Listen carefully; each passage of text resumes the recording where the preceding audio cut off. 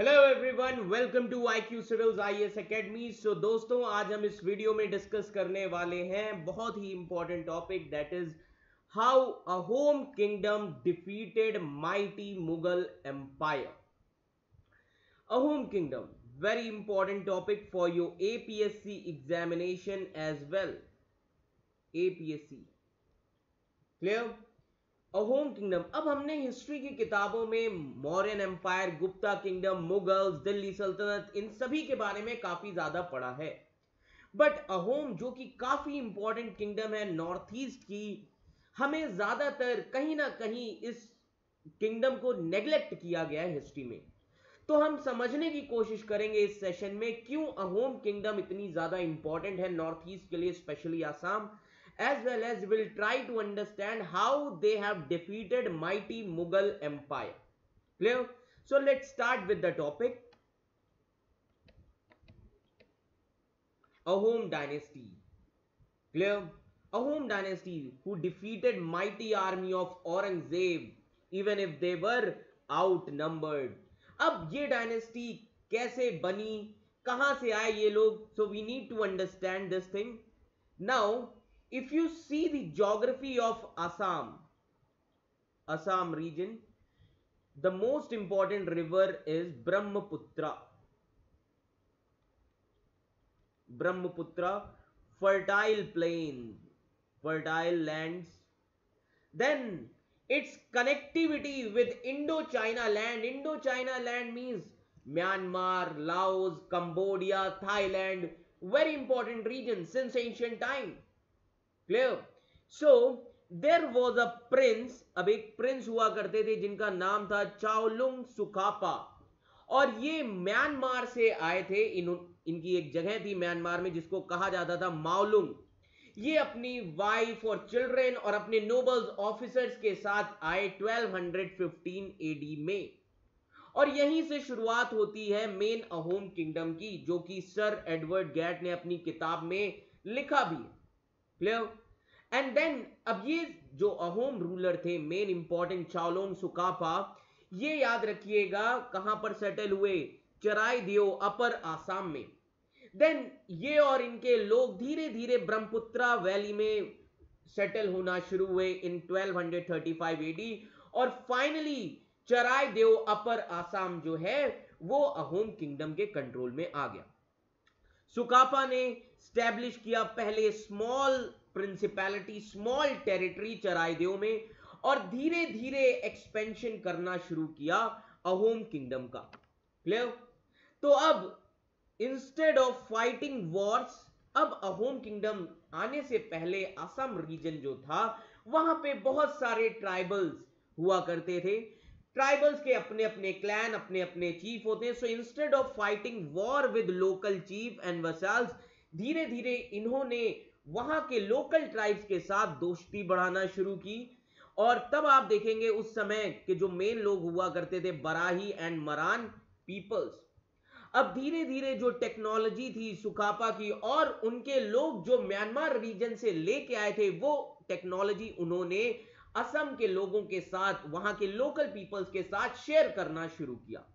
And ये technology थी क्या? ये टेक्नोलॉजी थी wet rice cultivation with increase agriculture output of the region अब ब्रह्मपुत्रा रिवर इज़ देयर जिसकी वजह से एग्रीकल्चर आउटपुट और ज़्यादा बढ़ने लगा। समझ में आ रहा है? इसीलिए एग्रीकल्चर क्या है? इंडिया की बैकबोन है इंडियन इकोनॉमी का बैकबोन है एग्रीकल्चर तो धीरे धीरे आप देखेंगे अहोम का जो वे ऑफ़ लाइफ था पॉलिटी थी धीरे धीरे उसमें बाकी और रीजन भी आने लगे। फॉर एग्ज़ाम्पल बराही जिसकी वजह से अब आप देखेंगे थर्टीन सेंचुरी से धीरे धीरे हमें पता चलेगा धीरे धीरे अहोम्स जो होंगे, वो इंक्रीज होने लगेंगे। एंड धीरे धीरे अपनी पोजीशन को इंक्रीज करने के लिए सुखापा ने क्या किया? असमीज हिस्ट्री में बहुत सारी चीज़ें honorific Chaolung associate with mean now Chao means great and lung means also great तो समय उन्होंने अपनी मिलिट्री पावर का यूज़ किया और धीरे धीरे जो वहाँ की लोकल पीपल थे, न्यू कम्युनिटीज थी, उनको एनेक्स करना शुरू किया। अब असम के ओरिजिनल लोग कौन कौन से? भुयान्स हैं, जो कि उस समय के लैंडलॉर्ड हुआ करते थे फ्यूडल लॉर्ड हुआ करते थे वहाँ के। एंड इसी तरीके से धीरे धीरे अहोम्स ने उनकी पावर को एब्जॉर्ब करना शुरू किया और अहोम किंगडम धीरे धीरे बढ़ने लगी। बहुत सारे लोकल ट्राइब्स जो थे, उन्होंने ज्वाइन किया। अहोम किंगडम्स को, और अहोम किंगडम एक मल्टी एथनिक और इंक्लूसिव किंगडम बन गई थी। सुखापा ने फिर उसके बाद अपनी पावर को कंसोलिडेट किया कल्चर और रिलीजन को भी एसिमुलेट किया डिफरेंट कम्युनिटीज के, और बहुत सारे ट्राइब्स हैं लाइक सुतियाज मोरान कचारीज अपनी किंगडम में इन सभी को उन्होंने एसिमुलेट किया, और उनके साथ एक अच्छे रिलेशंस बनाना शुरू किए। इसीलिए सुखापा को क्या कहा जाता है? सुखापा को कहा जाता है आर्किटेक्ट ऑफ़ ग्रेटर आसाम जिसका सपना बहुत बड़ा था, ग्रेटर आसाम। देन सुखापा की डेथ हो जाती है 1268 एडी में बट सुकापा एक ग्राउंड वर्क करके चले गए थे असम मतलब अहोम किंगडम को एक सोवरेन किंगडम बनाकर गए थे। मतलब बेस जो है अहोम किंगडम का, वो किसने तैयार किया? सुखापा ने। क्लियर अब अहोम्स के बारे में थोड़ा हम समझेंगे।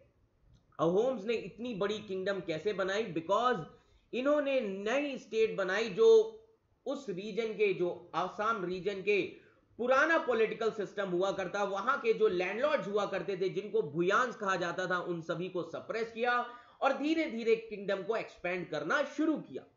Ahom state dependent upon force labour अब अहोम स्टेट डिपेंड था किस पर? फोर्स लेबर पे। Those force to work for the state अब जो याद रखिएगा, जो काम करवाते थे स्टेट के लिए, उनको पाइक कहा जाता था। अहोम सोसाइटी जो थी, वो डिवाइड थी डिफरेंट क्लैंस और क्लैंस को खेल भी कहा जाता है। अब ये जो क्लैंस होते थे, खेल होते थे, ये कंट्रोल करते थे बहुत सारे विलेजेस को। अहोम्स अपने ट्राइबल गॉड्स को वर्शिप करते थे बट उन्होंने कभी भी अपने लैंग्वेज रिलीजन रिचुअल्स को असम की कम्युनिटीज पर इंपोज करने की उतनी ज़्यादा कोशिश नहीं करी। उन्होंने एक्सेप्ट किया हिंदू रिलीजन को और असमीज लैंग्वेज को। इसीलिए अहोम किंगडम असमीज हिस्ट्री में काफ़ी ज़्यादा इंपॉर्टेंट है। Now however Ahom kings they did not completely give up their traditional belief जब उन्होंने हिंदुइज्म को अडॉप्ट किया बट उनके जो पुराने रीति रिवाज बिलीफ थे, उनको उन्होंने पूरी तरीके से छोड़ा नहीं था। अहोम की जो सोसाइटी थी, काफ़ी ज़्यादा सोफिस्टिकेटेड थी डिफरेंट पोइट्स स्कॉलर्स इन सभी को लैंड ग्रांट दिया जाता था which is a part of feudalism समझ में आ रहा है? फ्यूडलिज्म तब होगा जब पोजीशन हेरिडेटरी होगी, और धीरे धीरे आप देखेंगे जो संस्कृत वर्क्स होंगे ट्रांसलेट हुए लोकल लैंग्वेजेस में। तब आप देखेंगे हिस्टोरिकल वर्क जो सबसे इंपॉर्टेंट है दैट इज़ बुरंजीज ये भी लिखा गया और ये फ़र्स्ट है अहोम लैंग्वेज में और उसके बाद असमीज लैंग्वेज में बुरंजीज को लिखा गया। Now most of Sukaphaa's people were man और अब सुखपाज पीपल जो थे, जो वहाँ से म्यांमार से आए थे, वो ज़्यादातर मैन थे और धीरे धीरे उन लोगों ने लोकल ट्राइबल विमेन के साथ मैरिज अलायंस की और धीरे धीरे वो सेटल हो गए। धीरे धीरे वो पार्ट बन गए असम कम्युनिटीज का। अब जब होम्स आए इंटर मैरिज भी काफ़ी ज़्यादा इंक्रीज हुआ, जिसकी वजह से जो कल्चर था ट्रेडिशन था, वो पूरी तरीके से असिमुलेट हो रहा था। अब अहोम जो थे, अपने ट्राइबल गॉड्स को वर्शिप करते थे बट उन्होंने कभी भी अपने रिचुअल्स अपने लैंग्वेज अपने ट्रेडिशंस को ट्राइबल कम्युनिटीज जो थे असम की, उन पर इंपोज करने की कोशिश नहीं की। और धीरे धीरे आप देखेंगे अहोम किंगडम ने बाद में हिंदू रिलीजन को अडॉप्ट किया और बहुत सारे हिंदू टेम्पल्स बनवाए। मुगल्स की तरह नहीं, जो उन्होंने डिस्ट्रॉय किए हो टेम्पल्स अहोम का काफ़ी इंपॉर्टेंट याद रखिएगा कंट्रीब्यूशन है इंडिया के हेरिटेज और उन्होंने इंपोज किए लैंग्वेजेस में। तो आप देखेंगे धीरे धीरे since speakers of their previous language got lesser in numbers Assamese replaced the kingdom और धीरे धीरे असमीज जो होगी, वो मेन लैंग्वेज हो जाएगी किंगडम की। ना वाई अहोम आर इंपॉर्टेंट अब सिग्निफिकेंस क्या we need to understand Sukaphaa उन्होंने सक्सेसफुली डिफरेंट कम्युनिटीज और ट्राइबल पॉपुलेशन को एसिमुलेट कर लिया था होम किंगडम उन्होंने डेवलप किए काफ़ी फ्रेंडली रिलेशंस वहाँ की लोकल ट्राइबल कम्युनिटीज के साथ specially Sutiyas Moran and Kacharis. And धीरे धीरे आप देखेंगे, उनको कहा जाने लगा सुखापा को architect of Bor Asom Bor Asom means greater Assam because उन्होंने पावर को कंसोलिडेट किया कल्चर रिलीजन पूरे रीजन में एसिमुलेट किया और उन्होंने जो डाइवर्स पीपल है डिफरेंट डिफरेंट ट्राइबल पॉपुलेशन है असम में, उन सभी को मैनेज किया बहुत ही अच्छे से। ये योगदान है अहोम किंगडम का। समझ में आ रहा है? सो so, इसीलिए असम सेलिब्रेट करता है असोम दिवस हर सेकेंड दिसंबर को हर साल। और ये किस लिए सेलिब्रेट किया जाता है? सुकापा और उनके रूल को कमेमोरेट करने के लिए। नाउ ड्यूरिंग हिज रेन याद रखिएगा during his reign Ahom dynasties जिस का टाइम पीरियड है अराउंड सिक्स सेंचुरीज तक ये डायनेस्टीज थी। और धीरे धीरे ब्रिटिश इंडिया में याद रखिएगा 1826 में अहोम किंगडम को एनेक्स किया। दैट मींस असम रीजन को एनेक्स किया और एक ऐसी सोसाइटी बनाई जो कि art agriculture engineering robust economy के लिए जानी जाती थी। पोएट्स स्कॉलर्स इन सभी को काफ़ी ज़्यादा प्रेज किया जाता है ऑनर किया जाता है। उन्हें काफ़ी ज़्यादा लैंड ग्रांट भी दिया गया था। एंड एंशियंट वर्क्स जो हुआ करते थे संस्कृत में, वो धीरे धीरे लोकल लैंग्वेज में ट्रांसलेट किए जाने लगे। सो so, अब अहोम किंगडम्स की अगर आप लोकेशन देखेंगे असम रीजन की तो उस समय अफगान रूलर से काफ़ी ज़्यादा अटैक होते थे टर्क से भी काफ़ी ज़्यादा अटैक होते थे। Clear then Indo China land so Ahom kingdom हमेशा रेगुलर अटैक में होती थी Turkic and Afghan ruler of Bengal but successfully Ahom kingdom ने रेजिस्ट किया उनके एडवांसेस को and they even expanded westward to include territory around Karatoya river बहुत important river है clear so the Ahom kingdom would see its first major engagement against an imperial power in the form of Mughal empire in 1615 और पहली बार Ahom kingdom के ने जो, याद रखिएगा, पहली बार जो एंगेजमेंट थी मुगल एम्पायर के खिलाफ, वो शुरुआत होती है 1615 से। अब हम बात करेंगे मुगल एक्सपेडिशन की। नाउ सेवनटीन सेंचुरी में याद रखिएगा जो एक्सपेंशनिस्ट मुगल एम्पायर थी, उन्हें ब्रह्मपुत्रा रिवर की स्ट्रेटेजिक इंपॉर्टेंस के बारे में समझ में आ गया। अब एक चीज़ याद रखिएगा कि वॉर हमेशा स्ट्रेटेजिक इंपॉर्टेंस के लिए ही होते हैं। समझ में आ रहा है? और वॉर में सबसे इंपॉर्टेंट चीज़ क्या होती है? इकोनॉमी सो मुगल्स को रियलाइज़ हुआ ब्रह्मपुत्रा रिवर की स्ट्रेटेजिक इंपॉर्टेंस इंपॉर्टेंट फर्टाइल याद रखिएगा फर्टाइल लैंड्स समझ में आ रहा है? So when Aurangzeb ascended the throne जब औरंगज़ेब याद रखिएगा शहनशाह बनते हैं इस देश के देन औरंगज़ेब ने अपने एक मुगल जनरल मीर जुमला को ढाका से ऑर्डर दिया कि आप जाएँ और आसाम को कैप्चर करें। 1661 एडी में मीर जुमला अपने साथ काफ़ी बड़ी आर्मी लेके गए और उन्होंने कैप्चर किया उनकी कैपिटल गरगांव को। समझ में आ रहा है? उन्होंने हरा दिया था किसको? अहोम्स को। देन उसके बाद आप देखेंगे, अहोम किंग जो थे Jayadhwaj Singha he was force to agree for humiliating treaty तब इनसे ट्रीटी साइन करवाई मीर जुमला ने, और जिसकी वजह से अहोम्स को अपनी कुछ टेरिटरीज देनी पड़ गई थी, मुगल्स को गुवाहाटी से लेकर मानस रिवर तक। और काफ़ी सारा पैसा भी दिया गया था मुगल्स को। अब याद रखिए, जय ध्वज सिंगा के बाद उनके जो सक्सेसर आते हैं, चक्र ध्वज सिंगा। अब इनका एक ही मेन एम था कि जो मुगल्स को टेरिटरीज दी गई हैं, वो मुगल से टेरिटरीज वापस ली जानी चाहिए। And king Chakradhwaj Singha who had vowed to recover loss territories और उन्होंने बहुत ही इंपॉर्टेंट कमांडर चीफ को अपॉइंट किया, जिनका नाम था लचित बोरफुकान। बहुत इंपॉर्टेंट पर्सनैलिटी है असम रीजन की। एंड नवंबर 1667 अहोम आर्मी किसके कमांड में थी? लचित बोरफुकान के। इन्होंने अटैक किया और सक्सेसफुली मुगल्स को हरा दिया था और फिर से रिकैप्चर किया गुवाहाटी रीजन को। और जब औरंगज़ेब को इस न्यूज़ के बारे में पता चलता है कि वो अहोम से हार गए हैं दिसंबर 1667 में, तब याद रखिएगा, औरंगज़ेब जो है अपनी एक स्ट्रॉन्ग आर्मी भेजता है ताकि गुवाहाटी को वापस लिया जाए अहोम से। एंड देन आप देखेंगे कि औरंगज़ेब की जो आर्मी थी, वो रंगमती पहुँचती है फेब्रवरी 1669 में। एंड लचित बोरफुकान को इसके बारे में पता चलता है और लचित बोरफुकान काउंटर स्ट्राइक की पूरी अच्छे से तैयारी करते हैं।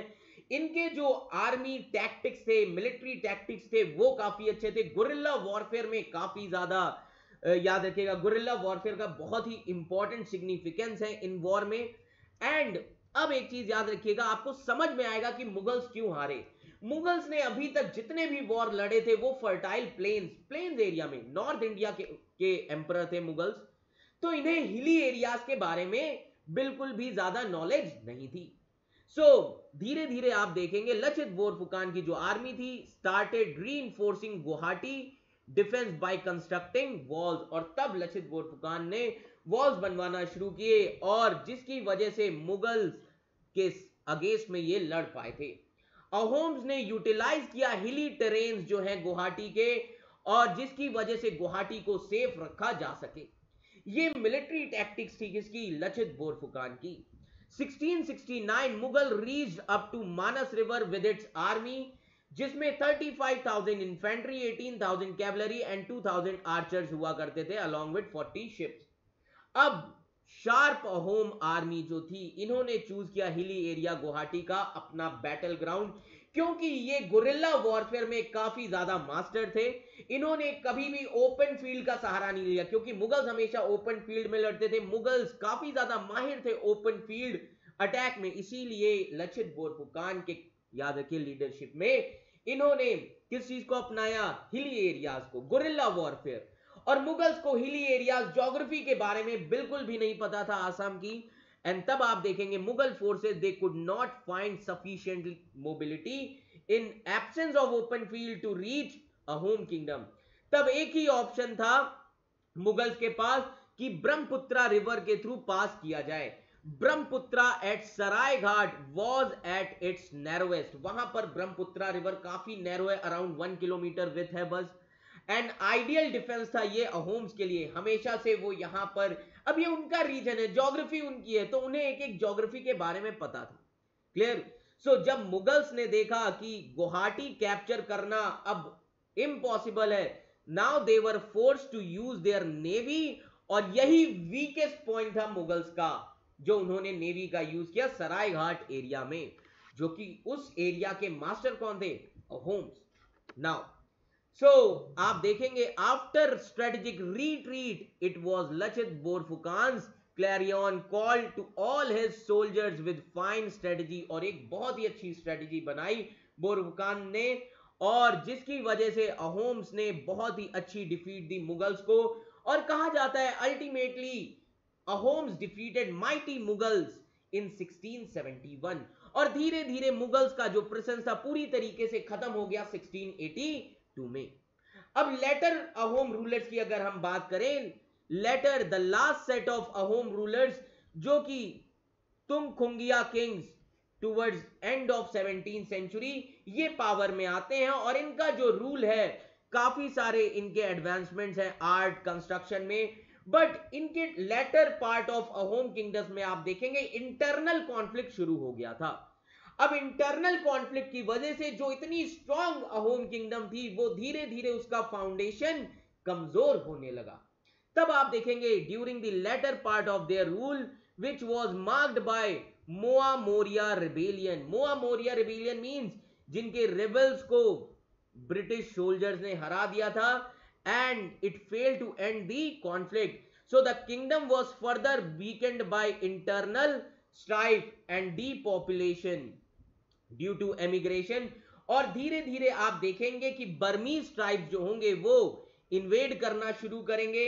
एंड जब बर्मीज ट्राइब इन्वेड करना शुरू करेंगे, तब हम देखेंगे कि in the end in 1826 treaty of Yandabo ये साइन की गई और जिसमें अहोम किंगडम्स पूरी तरीके से ब्रिटिश एम्पायर के कंट्रोल में आ गई थी, क्योंकि आसाम को खतरा था किससे? बर्मीज ट्राइब से। तो ये जो टाइम पीरियड है, अब बेसिक हिस्ट्री है क्या इस टाइम पीरियड की? नाउ ट्राई टू अंडरस्टैंड एक रूलर थे कमलेश्वर सिंगा 1795 टू 1811 और इनके बाद एक रूलर आए चंद्रकांत सिंघा 1811 से 1818 के बीच में। अब ये जो दो रूलर हैं, अब इस टाइम पीरियड में रॉयल कोर्ट में आप देखेंगे धीरे धीरे पोलराइजेशन शुरू हुआ। डिफरेंट डिफरेंट ग्रुप्स बन गए थे। बेसिकली याद रखिए कि अहोम किंगडम्स में later part of nineteen century में कॉन्फ्लिक्ट शुरू हो गया। Royal kings and his officers that means prime minister जो हुआ करते थे। So during the time of Chandrakant Singha जिनका टाइम पीरियड है 1811 से 1818 कोर्ट जो था अहोम कोर्ट पूरी तरीके से दो ब्लॉक्स में डिवाइड हो गया था। अब किंग्स और जो रॉयल फैमिली के मेंबर्स थे, वो एक साइड पर थे, दूसरी तरफ़ थे पूर्णंदा बरागोहीन, जो कि प्राइम मिनिस्टर थे और उनके सपोर्ट थे दूसरी साइड पे। तो एक तरफ़ रॉयल फैमिली, दूसरी तरफ़ प्राइम मिनिस्टर और उनके supporters.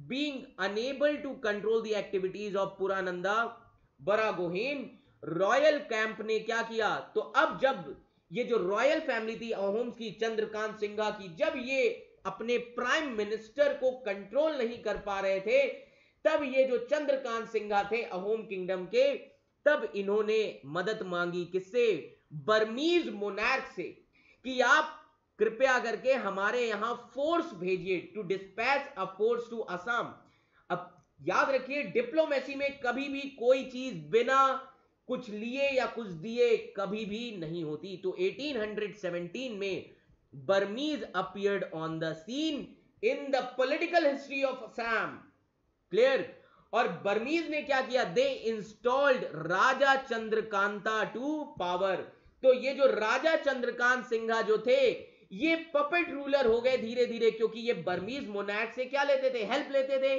जिसकी वजह से ये पपेट रूलर हो गए थे बर्मीज के। और धीरे धीरे आप देखेंगे Chandrakanta was replaced by Purandar Singha अब ये जो प्राइम मिनिस्टर का राइवल ग्रुप था, इन्होंने धीरे धीरे चंद्रकांता को हटा दिया और पुरंदर सिंघा, याद रखिए किंग बन जाएँगे, जो प्राइम मिनिस्टर फैमिली के, जो प्राइम मिनिस्टर के सपोर्टर्स हैं, जो प्राइम मिनिस्टर है, समझ में आ रहा है? तब आप देखेंगे, तब Purandar Singha raised to the throne, so when this development came to knowledge of Burmese king, और जैसे ही ये बर्मीज किंग को पता चला कि उनका जो पपेट रूलर है, जिसने हेल्प ली थी उनसे, चंद्रकांत सिंघा, उसको हटा दिया गया है। तुरंत बर्मीज किंग ने याद रखिएगा, आर्मी को डिस्पैच किया एंड तब बर्मीज किंग की आर्मी एंटर करती है असम रीजन में 1818 में। So with the intervention of Burmese अब जैसे ही बर्मीज ने इंटरवेंशन किया Assam was placed under Chandrakant Singha वैसे ही तुरंत बर्मीज के जो पपेट रूलर थे चंद्रकांत सिंघा याद रखिएगा, इनको किंग बनाया गया और तभी से ये पपेट रूलर हो गए पूरी तरीके से बर्मीज किंगडम के। अब बर्मीज ने धीरे धीरे अब क्योंकि बर्मीज ने हेल्प की आर्मी के थ्रू तो चंद्रकांत सिंघा याद रखिएगा पपेट रूलर थे। सो बर्मीज ने क्या शुरू किया? Reign of terror it was in this context तो जब बर्मीज किंगडम ने असम के लोगों को मारना शुरू किया। इस कॉन्टेक्स्ट में आप देखेंगे ब्रिटिशर्स ने इंटरवीन किया असम रीजन में and this resulted into treaty of Yandabo 1826 so, while british intervention, it saved assam region otherwise Assam region पूरी तरीके से बर्मीज प्रोविंस में कन्वर्ट हो जाता। ब्रिटिशर्स ने सेव किया। And it made Assam slave under British rule so ये जो ट्रीटी है Yandabo it was signed on 26 January 1826 और ये ट्रीटी ही एक टर्निंग पॉइंट है पॉलिटिकल हिस्ट्री असम का. समझ में आ रहा है? तो जो बर्मीज किंग था किंग ऑफ़ आवा उसने सरेंडर किया आसाम पर से अपने सारे क्लेम्स को. And 27 neighbouring states of Cachar Jaintia Manipur ये सारे ही स्टेट्स किसको दे दिए? बर्मीज किंग ने ब्रिटिश गवर्नमेंट को। क्लियर तो ये थी असम की, ये थी अहोम्स की पॉलिटिकल हिस्ट्री तो इसमें जो सबसे इंपॉर्टेंट फिगर है दैट इज़ लचित बोरफुकान जो कि एपीएससी में काफ़ी ज़्यादा क्वेश्चंस आते हैं। Now we need to understand the economy of Ahom kingdom और we can say say model of Ahom kingdom अब इकोनॉमी जो थी अहोम किंगडम्स की it was based on around paik system अब पाइक सिस्टम में क्या होता है कि जो अडल्ट मेल्स जो होंगे, ये पाइक्स होंगे और ये अपनी सर्विस प्रोवाइड करेंगे स्टेट को। और इसके बदले में इनको एक लैंड दी जाएगी और ये किंग के लिए मिलिट्री फॉर्म करेंगे। पाइक कौन होंगे? मेल्स होंगे एडल्ट मेल्स इनको एक लैंड देगा किंग और ये किंग के लिए क्या करेंगे? मिलिट्री प्रोवाइड करेंगे।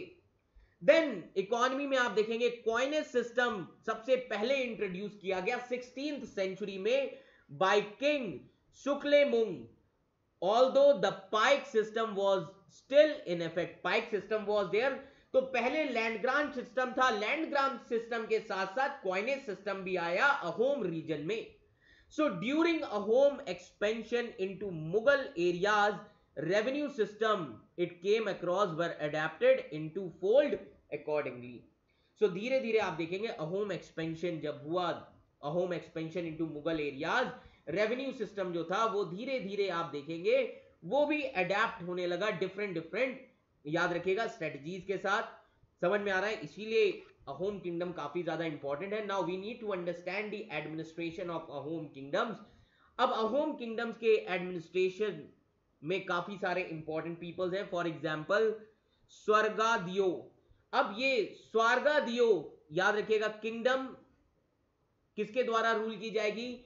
एक किंग होगा और किंग को कहा जाता था स्वर्गादियो।